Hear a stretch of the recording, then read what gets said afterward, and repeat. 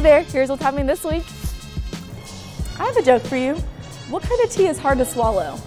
Check below to see the answer. Reality. Reality is hard to swallow.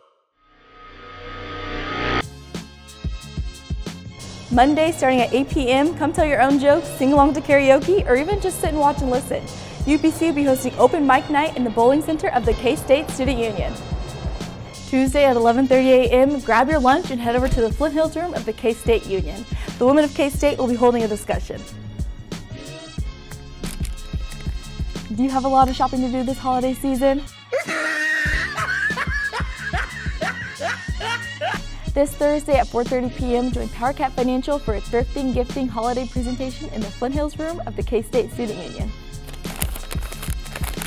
Friday at 7 p.m., end your week on the sweet side. Join UPC for the Harry Potter Dessert Theater. There'll be lots of desserts, trivia, a photo booth, and much more. All happening at the Grand Ballroom.